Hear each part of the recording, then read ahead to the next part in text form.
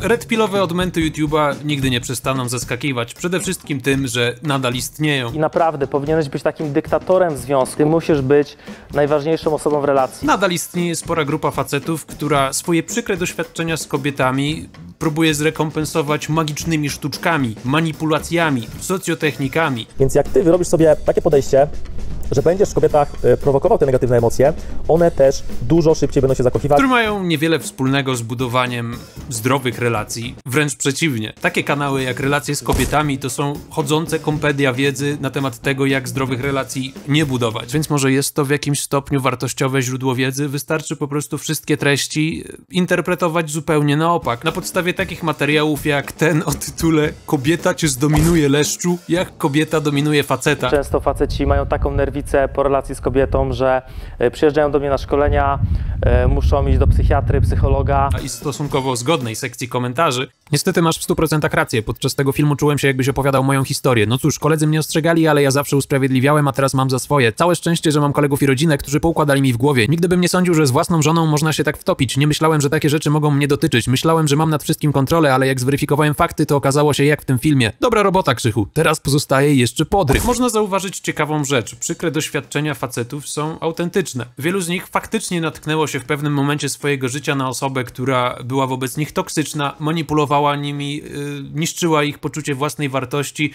Być może osobę narcystyczną, a z pewnością osobę przemocową. Doświadczenie takiej relacji, i mowa tutaj zarówno o kobietach, jak i mężczyznach, i w tym sensie wbrew yy, owianej złą sławą pewnej kampanii społecznej, która sugerowała, że przemoc ma płeć, w tym sensie przemoc nie ma płci. No więc doświadczenie takiej relacji potrafi być absolutnie dewastujące i w jak najlepszym interesie każdego byłoby wymiksowanie się z takiej relacji jak najszybciej. Rzecz jasna, główny problem polega na tym, że będąc w takiej relacji, czasami trudno jest sobie zdać sprawę, że ma ona właśnie taki przemocowy, toksyczny charakter. Absolutnie nikt nie zasługuje na bycie traktowanym w ten sposób, nawet ci faceci, którzy są mało pewni siebie. To, że ktoś ma mniej stanowczą osobowość, w żaden sposób nie usprawiedliwia wykorzystywania ich przez inne osoby. Nawet jeśli mowa o redpilowcach. Ale wielki problem polega na tym, że faceci, którzy mieli, autentycznie mieli takie doświadczenia, dochodzą do absolutnie spapranych wniosków i strategii działania i radzenia sobie z tym wszystkim. Witam Cię serdecznie, kolejny odcinek. Dzisiaj opowiem Ci na temat tego, czego nie należy absolutnie robić w dłuższej relacji z kobietą, w związku, bo to zabije Twój związek, zabije Ciebie jako faceta i nie będziesz miał żadnych efektów, jeszcze skończysz w wariatkowie, czego Ci nie życzę, ale poważnie często faceci mają taką nerwicę po relacji z kobietą, że przyjeżdżają do mnie na szkolenia. Aż strach pomyśleć, z jakimi problemami trafiają po tych wszystkich radach, o których usłyszycie za chwilę. Oczywiście, nie chodzi o to, żeby być hamem dla dziewczyn takim zupełnym, e, nie pomagać dziewczynie w relacji, tylko żeby to wszystko miało ręce i nogi. Ty inwestujesz, ona inwestuje. Jeśli ta inwestycja jest jednostronna i kobieta kompletnie cię nie szanuje, e, gdzieś tam krytykuje cię przy znajomych, cały czas na ciebie narzeka, że cały czas jest źle, no to niestety, ale ona buduje w tobie poczucie winy, które też z czasem zabierze ci pewność siebie. I to by była nawet całkiem sensowna rada, gdyby nie fakt, że cała reszta przemyśleń autora kanału przeczy tej wizji w związku, w której obie strony wkładają tyle samo wysiłku, żeby to wszystko jakoś działało i żeby obie strony były szczęśliwe. Do tego jeszcze wrócimy. Ja uważam, że kobiety to poniekąd robią celowo, żeby cię przetestować, czy ty masz właśnie tą męską charyzmę, czy jesteś w stanie zaprotestować. Jeśli nie, no to skończysz tak naprawdę jako facet, który,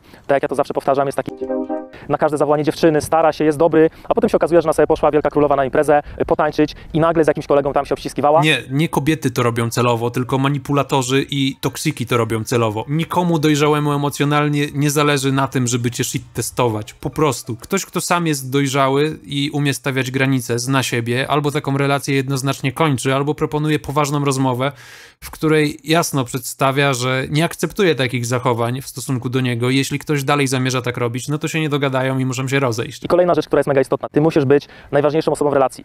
O co chodzi? Chodzi o to, że to ty masz kontrolować związek. To ty masz być mniej zaangażowany niż ona. Jeśli jest odwrotnie, jesteś bardziej zaangażowany, zakochany, boisz się ją stracić, właściwie nie wyobrażasz sobie takiej opcji, no to już przegrałeś, tak? Ponieważ kobieta bardzo umiejętnie to wyczuje i ona cię przetestuje pod tym kątem. Y, Tutaj niby nie odpisze, tu ci powie, że kończycie znajomość, ty się rozpłaczesz, ty do niej zadzwonisz, spanikujesz, no i właściwie już mamy pozamiatane. Niestety, ale jak jesteś słaby psychicznie, to kobieta owinie cię dookoła palca i nie będzie za tobą podążać. Co za toksyczny bullshit. Okej, sorry, błędnie myślałem, że jeżeli chodzi o relacje dwójki dorosłych, zdolnych do stworzenia relacji romantycznej ludzi, będziemy mówić o partnerstwie, o wspólnym tworzeniu jakiejś jakości. To brzmi, nie wiem, ludzko?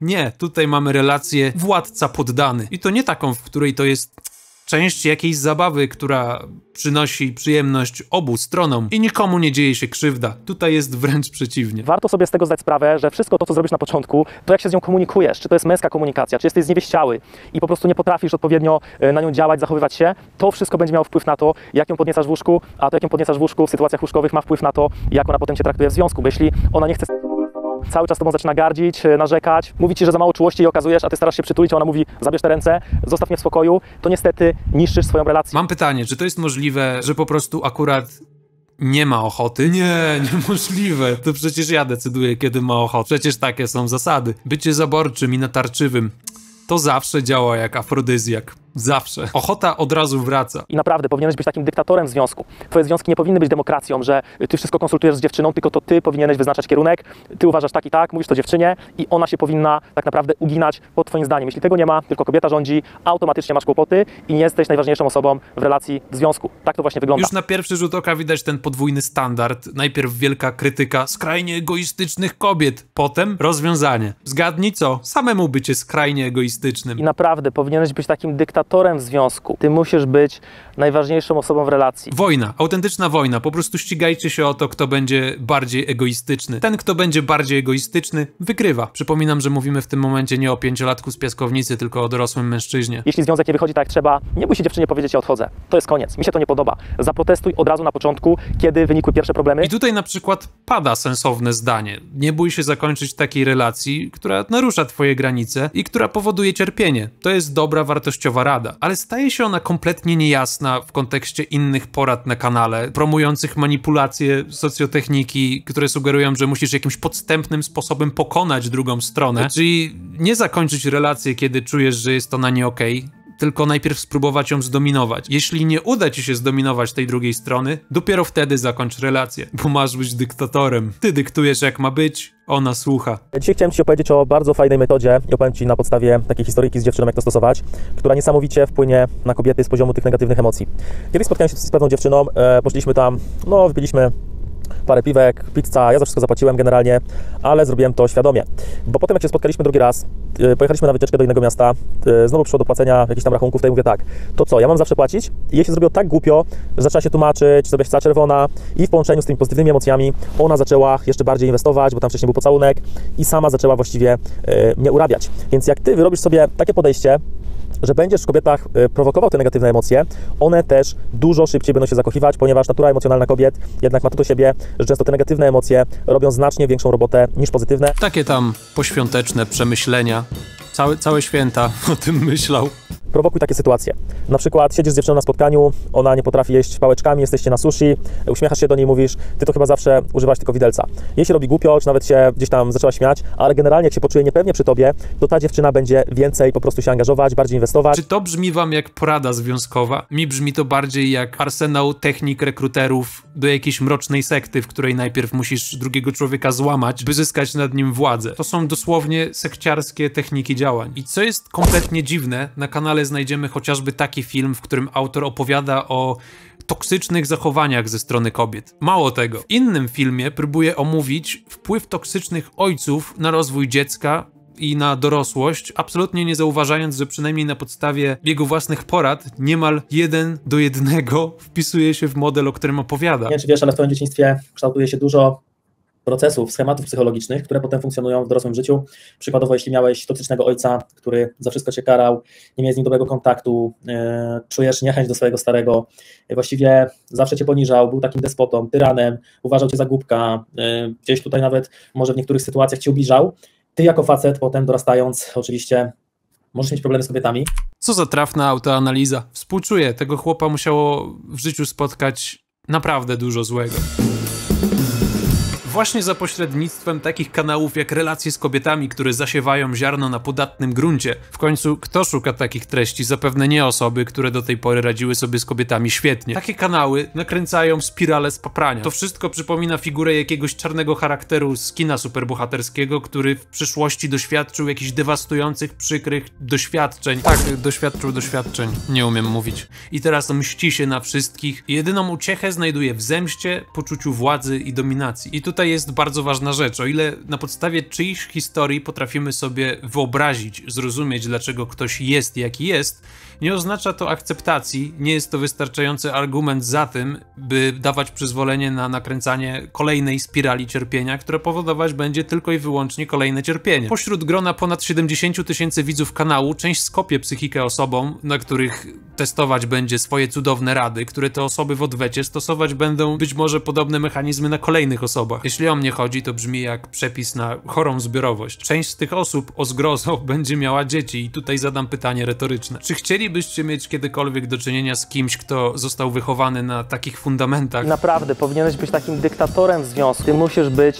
najważniejszą osobą w relacji. Zadam kolejne pytanie. Czy chłopy, o których mowa, zafascynowane tymi wszystkimi złotymi radami, życzyliby swoim matkom, żeby ich ojciec stosował na nich właśnie te same złote rady? Albo czy życzyliby sobie, żeby jakiś chłopak stosował te same rady na ich córkach? Chyba znamy odpowiedź. A ona z kolei prowadzi do całkiem ciekawego wniosku, żeby móc w ogóle zacząć stosować te triki, najpierw trzeba kogoś odczłowieczyć, a więc traktować kogoś jako obiekt do spełniania swoich własnych celów. Skoro redpilowcy zapewne nie chcieliby, żeby ich własne złote rady były stosowane na ich matkach, siostrach, córkach, to tylko i wyłącznie dlatego, że widzą w nich prawdziwe osoby. A potencjalne partnerki sprowadzają po prostu do roli obiektu, który jak nieco przebiegły robot ma reagować na ich wykalkulowane działania i komendy. Nie traktują ich jak prawdziwe osoby, na co wskazuje zresztą nawet język, którego używają i który jest zaczerpnięty ze świata biznesu, inwestowanie. Generalnie jak się poczuje niepewnie przy tobie, to ta dziewczyna będzie więcej po prostu się angażować, bardziej inwestować. Chcielibyście być traktowani w relacji romantycznej jako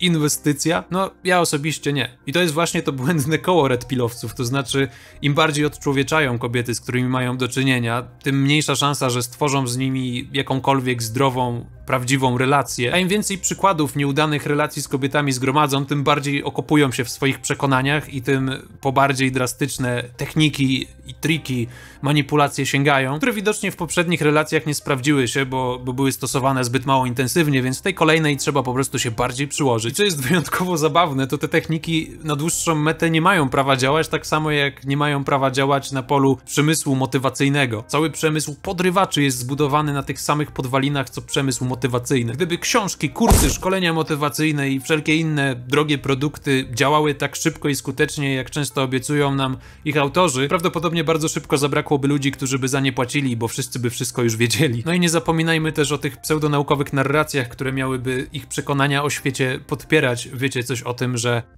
Kobiety są tak emocjonalne, że nie są w stanie działać logicznie i racjonalnie. i że niby psychologia ewolucyjna już to wszystko wyjaśniła, absolutnie nie dostrzegając tego, że u podstaw ich spopranego podejścia leży nic innego niż te pogardzane przez y, racjonalnych, ultralogicznych samców alfa emocje, które notabene nie są złe, są istotą praktycznie każdego ludzkiego działania. Tylko, że niektórzy zdają się nie przyjmować tego do wiadomości. Jeżeli chodzi o moje rekomendacje, to ten film traktowałbym z waszej strony jako pewnego rodzaju przestrogę. Wiadomo, że łatwo niepokojące sygnały dostrzegać, kiedy je się ogląda na YouTubie w formie, która jest wystarczająco karykaturalna. W końcu kto w ogóle traktuje innych ludzi w ten sposób? Dzieci ludzie są, ale trudniej je dostrzec, gdy są one bardziej subtelne i dotyczą nas samych. Jeśli mieliście takie doświadczenia i macie ochotę się tym podzielić w komentarzach, to zapraszam, być może komuś to pomoże.